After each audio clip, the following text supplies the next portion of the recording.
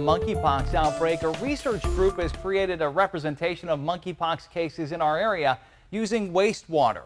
Wastewater Scan, an offshoot of the Sewer Coronavirus Alert Network, commonly uh, known as SCAN, uses data from researchers to share the risk of community spread. This is the data from July showing the presence of monkeypox in a number of Northern California cities. San Francisco, Davis, and Sacramento are all having their wastewater tested for this study. According to their site, when monkeypox is detected in wastewater, it means that at least one person in that community is shedding it.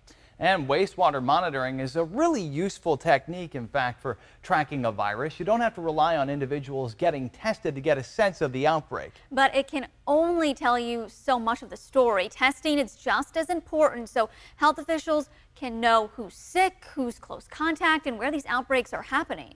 ABC 10 has been keeping track of the number of cases across the state. These are the counties with the most confirmed cases in our area. Sacramento has 65 confirmed cases right now, and that's the sixth most in the state behind Los Angeles County, San Francisco County, and San Diego County. California is getting closer to 1,500 cases, second in the country to only New York. And nationally, monkeypox is now considered a public health emergency.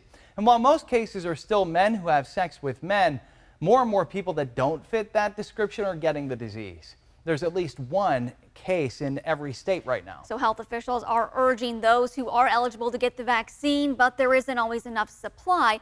ABC's, ABC's Mola Lenghi explains. The Biden administration has declared monkeypox a public health emergency in order to help bolster the federal response. Monkeypox might not have made it into the health emergency category, except we've just been through COVID.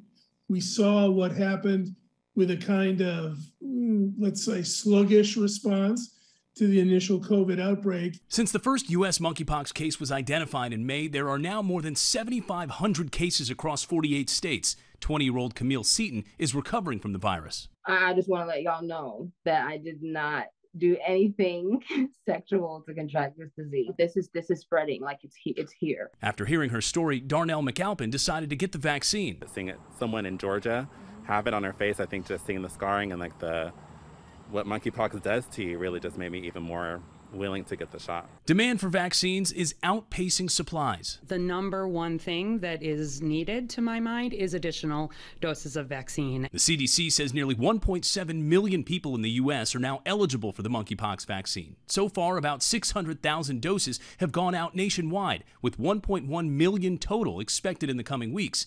The FDA is looking at a new approach that could potentially lead to a five fold increase in the U.S. supply of the vaccine by giving it in smaller, shallower injections under the skin, allowing up to five doses per vial. This is pretty common in medicine. We learn new things about vaccines, about treatments, about dosing, and that's what the FDA is looking at right now. The White House has said all options are on the table, including the Defense Production Act, if the administration determines it would help with the vaccine supply. Mola Lenghi, ABC News, New York.